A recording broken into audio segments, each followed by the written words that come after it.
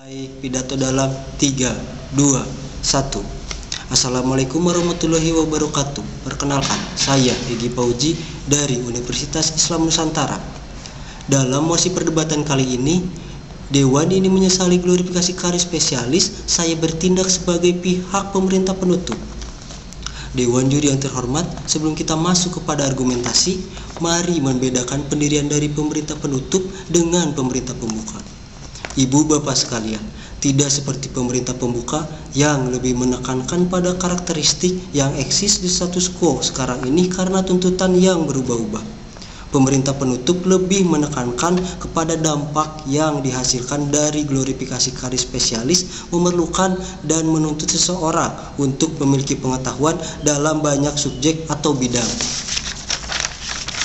Tetapi di sisi lain, kami satu persepsi dengan pemerintah pembuka dalam melihat glorifikasi karya spesialis dampak dari globalisasi dan kemajuan teknologi.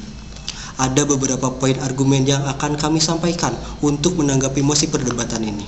Yang pertama, glorifikasi sendiri merupakan sebuah proses, cara, perbuatan meluhurkan maupun memuliakan Selanjutnya, spesialis seseorang profesional dengan kompetisi yang berorientasi pada spesifik job test.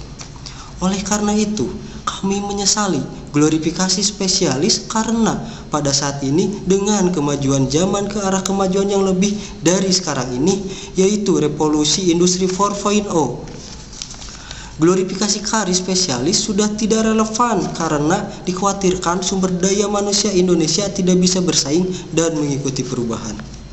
Poin argumentasi yang kedua, akan banyak talenta-talenta yang akan tersingkirkan apabila karir spesialis masih diglorifikasikan.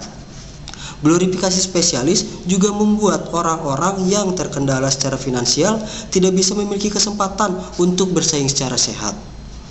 Padahal negara sudah menjaminnya dalam perundang-undangan yang sudah berlaku dan dijamin juga seluruh orang yang ada di dalamnya bahwa setiap orang memiliki hak untuk pekerjaan, pendidikan, dan sektor kehidupan lainnya.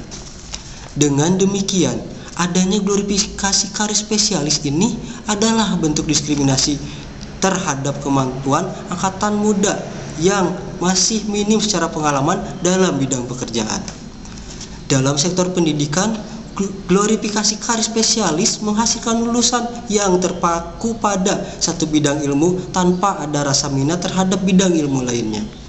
Poin argumentasi yang ketiga, glorifikasi karir spesialis membutuhkan waktu yang tidak sebentar. Dengan hal, dengan hal ini, maka akan memangkas waktu lain untuk seharusnya bisa dipergunakan untuk pengembangan dalam bidang ilmu lainnya.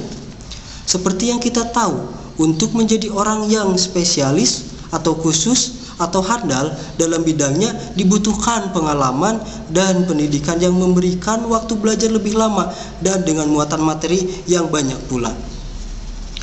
Contohnya, dalam posisi pekerjaan spesialis, front end developer yang berperan hanya dalam satu bidang berbeda dengan full stack developer yang berperan di berbagai bidang.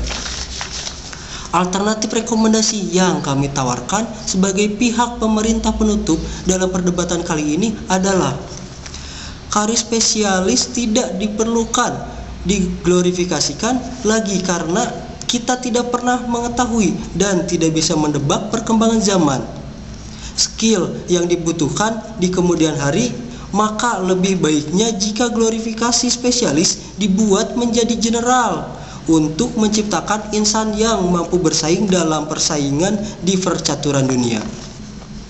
Argumentasi penutup sekaligus konklusi kami sebagai pihak pemerintah penutup dalam mosi perdebatan ini adalah kami sangat menyesali glorifikasi karir spesialis dalam banyak aspek kehidupan sehari-hari. Terima kasih.